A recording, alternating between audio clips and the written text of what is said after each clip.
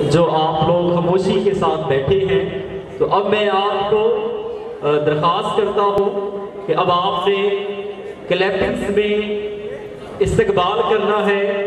جو بھی یہاں اسٹوڈنٹ کوئی بھی پرزنٹیشن دینے کے لیے آئے کسی بھی انداز میں، تو آپ لوگوں نے کلیپنگز میں اسے اپریسیشن دینی ہے۔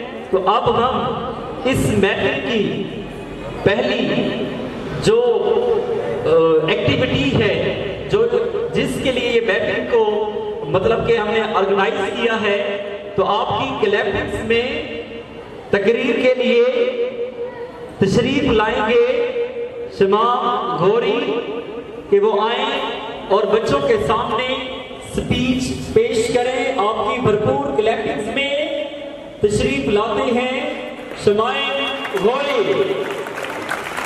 تھینک یو انسان کی عظمت کی بنیاد ہے۔ تم اس طرح کرو کہ صدف ہمیں کرو مہیا۔ تم اس طرح کرو کہ صدف ہمیں کرو مہیا۔ بنیں گے گہر کیسے یہ ہم پہ چھوڑیے لفظ علم تین حروف کا مجموعہ ہے۔ آئین، لام اور مین آئین، عنایت الہی لام لیاقت مدرس اور مین محنت طالب علم جہاں ان تینوں حروف کی آبشاری ہوتی ہے، عروج اس شخص کا مقدر بن جاتا ہے۔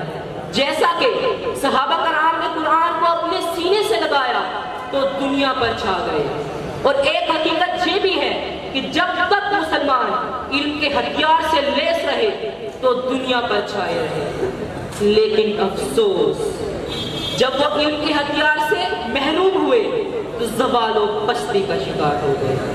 حضرت علی سے روایت ہے کہ ہم اللہ کی اس تقسیم پر راضی ہیں کہ اللہ نے ہمیں علم اور جاہلوں کو دولت عطا کرنا دولت تو خرچ کرنے سے کم ہوتی ہے، لیکن علم خرچ کرنے سے زیادہ ہوتا ہے۔ آپ صلی اللہ علیہ وآلہ وسلم کا فرمان ہے، میں علم کا شہر ہوں اور علی اس کا دروازہ۔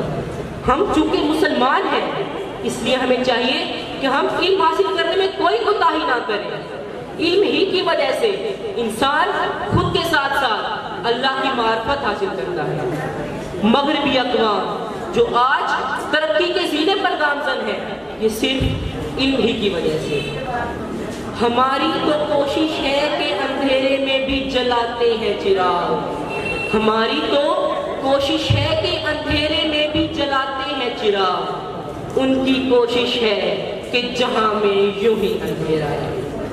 علم حاصل کرنا بہترین عبادت ہے۔ علم بہترین صدقہ ہے۔ علم کی طاقت تلوار سے زیادہ ہے۔ علم بہترین ہم نشین ہے۔ علم انسان کے کردار اور سیرت میں نکھار پیدا کرتا ہے۔ آپ صلی اللہ علیہ وآلہ وسلم کا فرمان ہے، طلب العلم فریضت علی کل مسلم۔ علم کی طلب ہر مسلمان مرد اور عورت پر فرض ہے۔ ارسطو افلاطون بو علی سینا، امام رازی، امام غزالی، شاہ ولی اللہ، لیاقت علی خان، سر سید احمد خان، علامہ اقبال، جو آج آسمان علم پر ستاروں کی طرح چمک رہے ہیں اور چمکتے رہیں گے۔ یہ صرف علم ہی کی باعث ہے۔ جو پایا علم سے پایا بشر نے۔ جو پایا، علم سے پایا بشر نے۔ فرشتوں نے بھی وہ پایا نہ پایا۔ آپ صلی اللہ علیہ وآلہ وسلم کا فرمان ہے، خیرکم من تعلم القرآن وعلمہ تم میں سے بہتر وہ ہے جس نے قرآن سیکھا اور دوسروں کو سکھایا۔ ارشاد ربانی ہے، وما خلقت الجن والانس الا ليعبدون۔ اور ہم نے جنوں اور انسانوں کو محض اپنی عبادت کے لیے پیدا کیا۔ قوموں کی ترقی بھی علم پر ہی موجود ہے۔ علم نے عقل کو جلا دی ہے۔ علم نے عقل کو جلا دی ہے۔ نئی دنیا ہمیں دکھا دی ہے۔ ایک دفعہ کا ذکر ہے کہ آپ صلی اللہ علیہ وآلہ وسلم مسجد میں تشریف لے گئے۔ وہاں دو مجلسیں ہو رہی تھی ایک حلقہ ذکر اور دوسری حلقہ علم۔ آپ نے دونوں مجالس تعریف کی۔